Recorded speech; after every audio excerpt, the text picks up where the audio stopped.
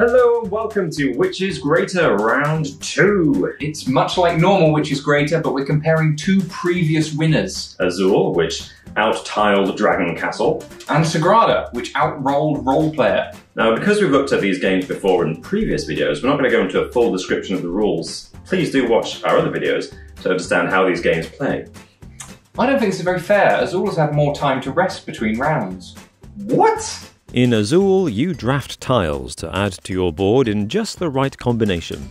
In Sagrada, you draft dice to add to your board in just the right combination.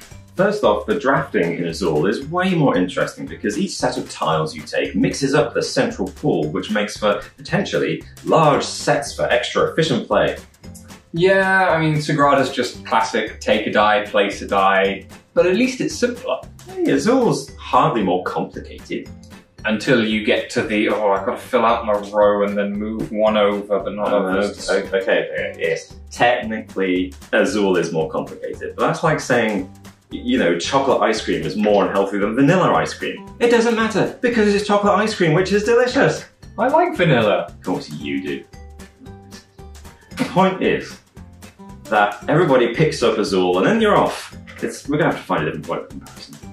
Okay, let's look at what you're filling in. Sagrada's stained glass window is a puzzle that builds in intensity and complexity smoothly throughout the game. You start off thinking you can build pretty much anywhere with anything, but quickly the requirement to place different colours and numbers next to each other forces you to plan carefully, and the risk of not being able to place at all grows and grows. Is that not the same as Azul? As tiles fill up your wall, you can't place the same type in that row, steadily constricting your options until the market draft becomes nightmarishly tense. I guess the difference is that the constriction in Azul feels inevitable and the same no matter what you do. Um, the tiles are all equivalent after all. Whereas in Sagrada, there's this sense that the degree of tension and constriction is in so many ways your own fault. Those difficult points are because you chose to put the dice around it the way you did. And that's always an amusing feeling.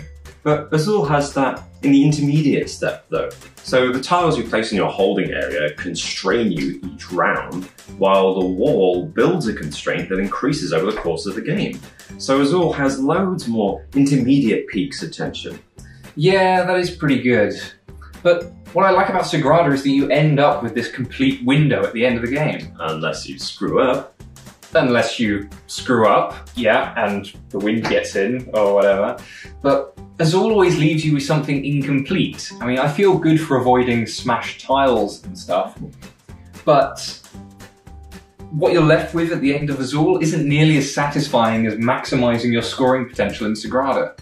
Even if all that comes down to luckily drafting high value dice in the right colour, Hmm, yeah, no, I'm not sure that's fair.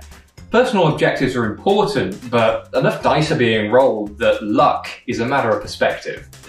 Speaking of perspective, we should uh, pick a winner. Do we have to, though?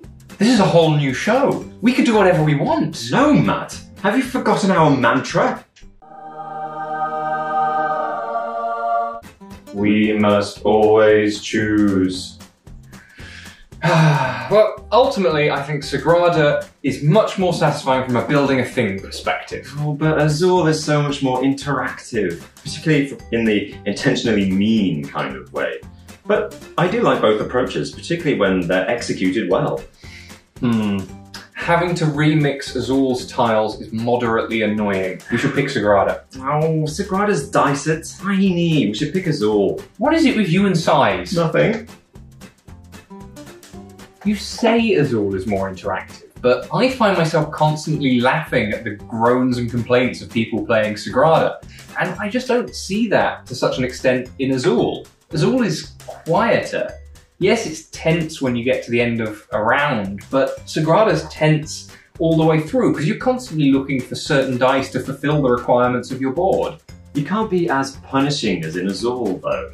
Not in terms of pure points, but it still feels like the draft is hugely important, and ultimately that's what matters. Mm, yeah, we have always spent more time laughing at each other in games of Sagrada.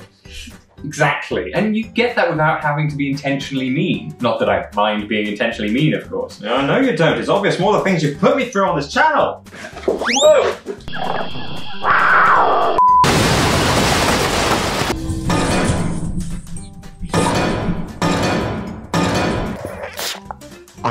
Euphoric. You should see the stuff I leave out. So, Sagrada wins a second Golden Grater then. It does. Crazy.